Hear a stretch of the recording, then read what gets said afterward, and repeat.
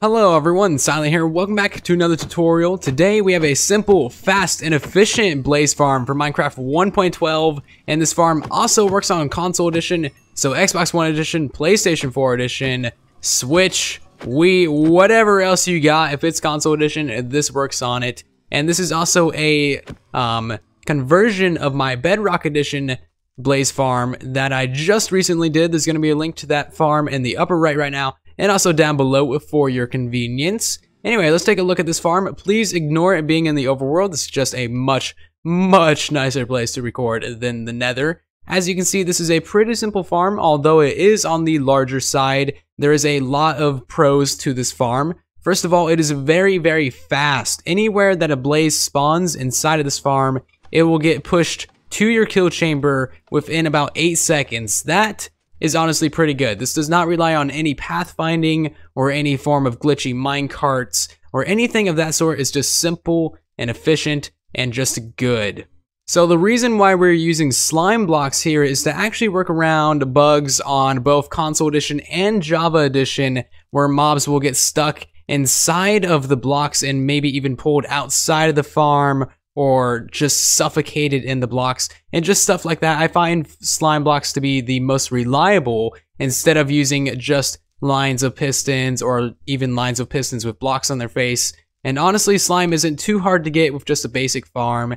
And uh, honestly, it's just a pretty nice looking farm as well. And also, you know what? Extra bonus, I'm going to bring this up. It's actually really funny to see all these blazes get beat up by all the redstone. I really like it. And as you can see, when this spawns blazes, there's no shenanigans whatsoever. And yes, of course, this farm comes with an automatic separator for the blazes and an automatic crushing system to get them all down to one hit. While those guys are crushing, I'm gonna tell you one con about this farm, and that is because of how we have to set up the pistons because of some glitchiness. Uh, your AFK spot is gonna be right here instead of right in front of where your kill chamber is. That's only going to be a problem if you intend to AFK for hours, AFK throwing potions of harming, which most of you probably are not going to be doing. So this indeed is where you're going to be AFKing for your blazes. Anyway, as you can see, these guys are all one punch with our uh, crusher, or you can slash them all with your sword and they will all die, um, even without sweeping edge. Alright, so let's hop right into this. So the first thing that you want to do is disable your blaze spawner. This is your blaze spawner right here. You're also going to want to place a slab on top of that. And uh, basically how you disable is go out by four blocks in every direction from your spawner and then plaster all of those little wings, these temporary wings with torches and just plaster the entire area with torches. Blazes need a very high light level in order to not spawn.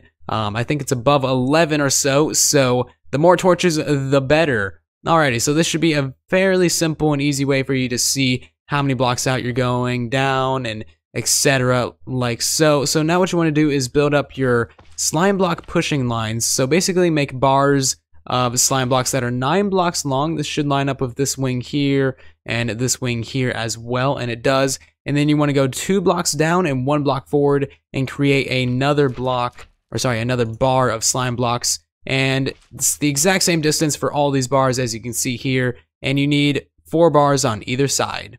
Okay, so now all of your slime block lines are in, and they are all just two blocks apart, like so. Now what you want to do is go down to the bottom line of uh, slime blocks, go down by two blocks again, go forward by one block, and then put in a line of glass blocks that is nine blocks long, the same length as all of your slime block lines. And you want to do that on both sides, of course. So now it is time to make a decision, and that is where the redstone for your farm goes. We're going to be putting the redstone on the left side over here. And also one thing I should have said at the beginning is that this is the front of the farm over on this side. Um, sorry, should have said that. Would have avoided some confusion possibly. But uh, anyway, I'm saying it now. That's the front of the farm.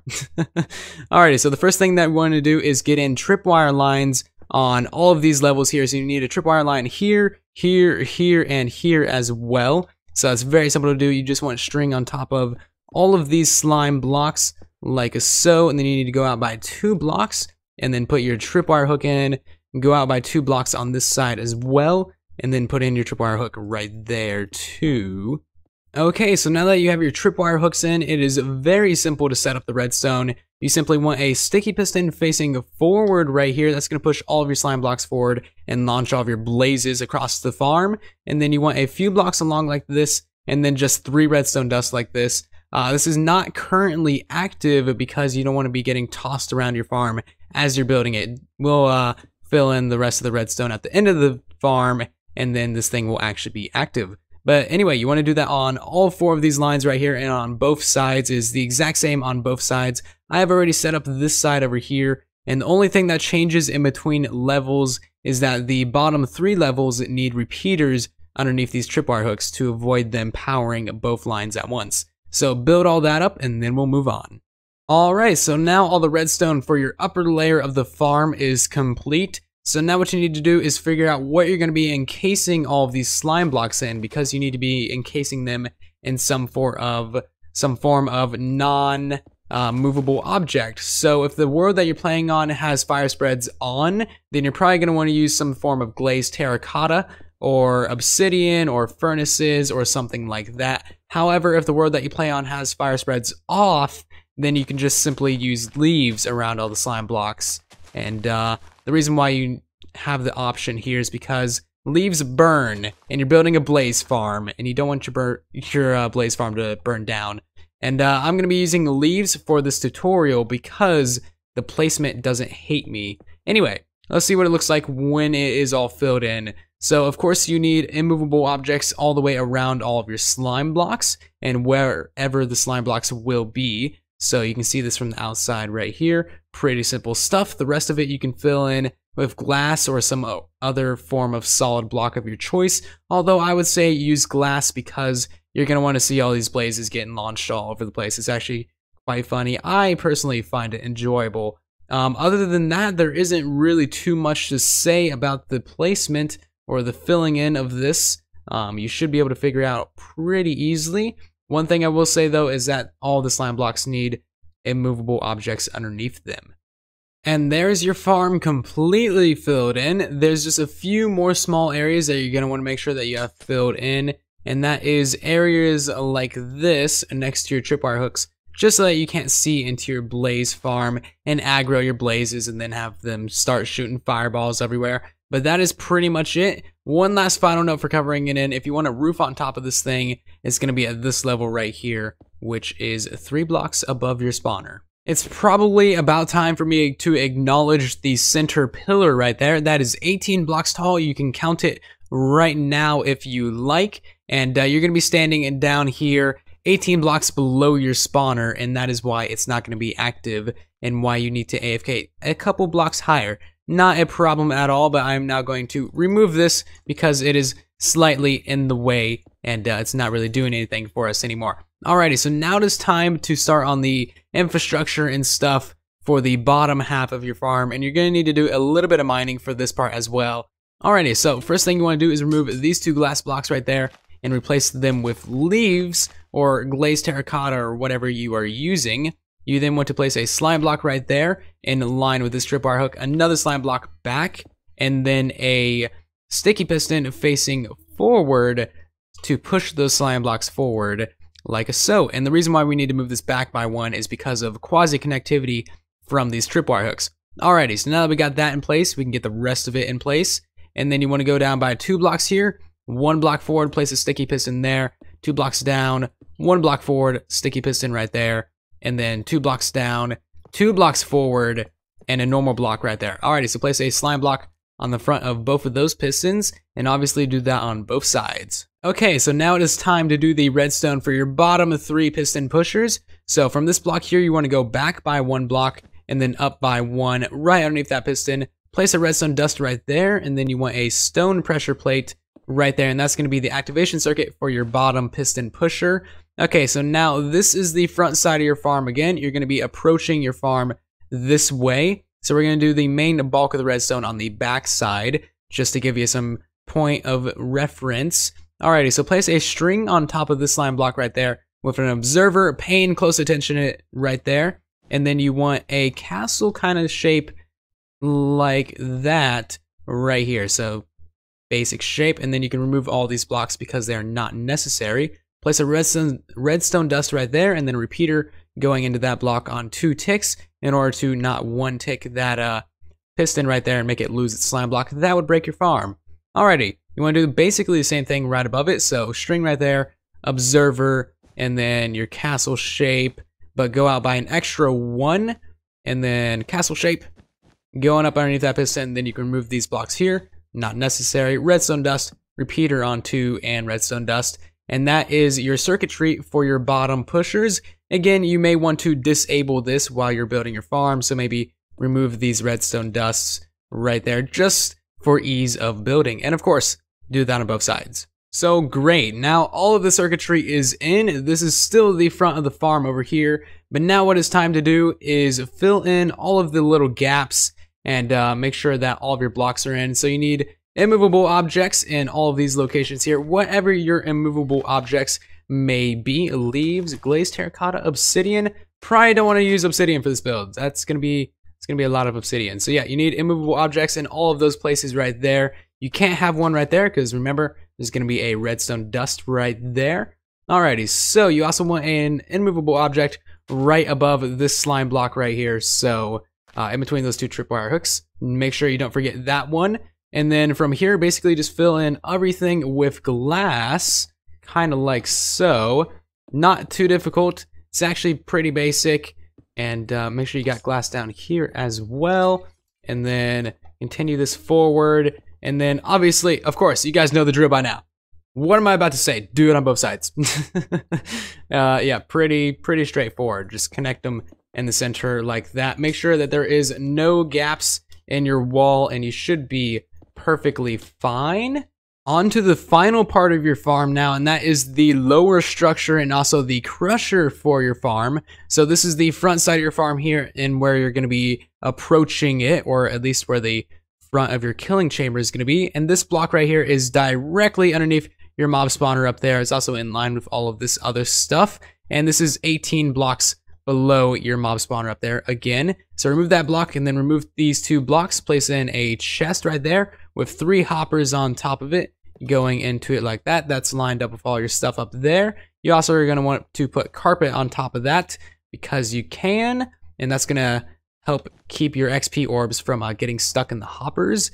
So then you want to go one block back, two blocks up, and create a two by three wall of sticky pistons, kind of like so. You remove those blocks. You want solid blocks on the bottom half and glass blocks on the top half, and that is going to be the basic structure of your crusher. You then also want three normal pistons facing upwards on top of that. Now it's time to fill in the entire build. So you want three glass blocks right there. You want two right there, and then two going down in all of those locations, two right there, and then solid blocks in all of these areas, like so. And then you can fill in some solid blocks right there too.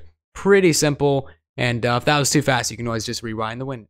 It is now time for the final part of your farm. So what you want to do is go over to the right side, go out by an extra couple blocks. You want a lever on that block right there and a wooden button on that block right there. It is now time to do the circuitry for the sorter. So you want to staircase up kind of like this, going into a 2x3 of blocks right here. Pretty simple. Alright, now you want a repeater on this block going into there with just redstone dust all along these blocks. And then a repeater on all of those blocks, and that is everything done. So that is working around quasi-connectivity, and uh, when we activate that, that's going to power those pistons, which are going to power those pistons, which is going to extend your glass blocks, preventing any new blazes from getting into your kill chamber. Alright, so now it's time to do your crusher, so you want to go behind this block with the button on it, place a block up right there, and then three blocks like so. Go out by a couple more blocks, and then you want a redstone dust right there, three repeaters going that way, or sorry, comparators, and then three comparators going that way, two more redstone dust. Then you want to move over to your pistons over here, place three blocks underneath them, another two by three of blocks like so, and then three repeaters going into the bottom, three redstone dust like that, a block right there and a block up, and a repeater going into that block. And that is as simple as that. So now whenever a blaze comes into your kill chamber, you can flick this lever, that'll prevent any new blazes from getting into your kill chamber. You can press the button, that's going to get them down to a one hit kill with your fist, or a potion, or a sword, or whatever you're using. And uh, then you can kill all these guys unflick the lever, and that's going to allow all the new blazes that are piling up up there to uh, go into your kill chamber. So one thing I will say about this redstone is that if you're using a more powerful weapon, you can actually make the crusher quite a bit faster. So if you're using potions or your fist or a low power sword, then you're going to need six comparators here. However, if you are using an iron sword or something of that like, then you can use four comparators right here to one hit kill them. And if you're using a fully enchanted diamond sword, then you actually only need two comparators in order to uh, crush them down to a low enough health to be able to one hit kill them. So that's just a little bit of a way to uh, speed up your farm. The final thing that you need to do to your farm is actually rearm it. So that means just placing all the redstone back in to activate all of your piston pushers. So you want a redstone behind that pressure plate there. You want a redstone dust right there by that block. Redstone dust by that block. Redstone dust above all of your trip wires. And that is everything. Your farm is now armed. Do not go in there because you will get bounced all over the place. Or do. I mean, it's actually it's actually quite fun. I, I probably wasted way too many hours just playing inside this farm. anyway, now it is also time to remove your temporary bars that you put around your spawner and all of your torches in here. And uh, as soon as you do that, as soon as you remove all your torches, the blazes will start to spawn. So get out there as soon as you possibly can. So now um, we're going to simulate some blazes spawning in here you can see that they activate the tripwire hooks and then they all just get pushed to the center, get pushed to the center again, and then go right into our kill chamber. Zero shenanigans, zero mess, zero fuss. Just a nice, efficient farm. Alright, so as you can see, the farm is working an absolute beast. Love this thing. And uh, yeah, make sure you also put in your AFK spot right here. And uh, it's actually pretty cool AFK spot. You get to see all the blazes down there. When you flick the lever, you get to see all the blazes up here. And uh, honestly, it's just pretty cool to be close to that much fiery death and doom and uh, them not be able to do anything to you whatsoever. So if you're standing on this block here, you should be able to see your spawner be active with all the flame particles around it. But if you go even one block lower, it's not going to be active. So you do actually have to AFK at least this high. Maybe not directly right here, but just somewhere where you activate your spawner. Anyway, I hope you guys enjoyed this farm and, uh, you know, found it useful. If you did, be sure to leave a like on the video, maybe get subscribed to the channel as well. We would love to have you join our community. If you guys have any questions, comments, or concerns, be sure to leave it down in the comment section and I will try and help you out as best as I can. Anyway, thank you guys ever so much for watching. I'll see you down in the comments and in the next video. And then there was silence.